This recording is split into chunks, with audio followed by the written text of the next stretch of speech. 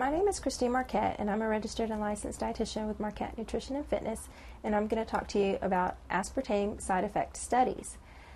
Recently, there was actually a very large review, about 500 different studies on aspartame, and there was a panel of eight experts in various fields of toxicology who reviewed studies that have been done all around the world. And what they found in these studies is that there really hasn't been any evidence of serious side effects regarding aspartame. Most of the studies looked at various issues. They looked at cancer, diabetes, Parkinson's, all sorts of different diseases to see if there was any relationship between aspartame and these particular diseases. One area of concern was that there had been a study done in 2005 in Italy um, that did show an increase in risk of cancer in female rats, specifically lymphoma and leukemia.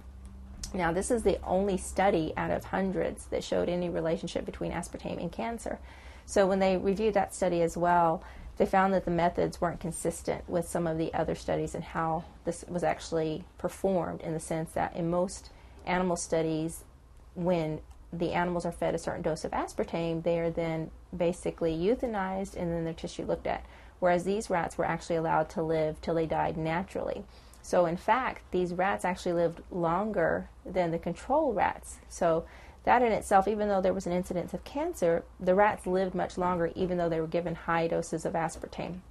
So, as far as the most recent, recent information regarding aspartame and side effects, the majority of the studies show that it is safe. It doesn't increase the incidence of any type of cancer or diabetes or Parkinson's or MS or a variety of other conditions.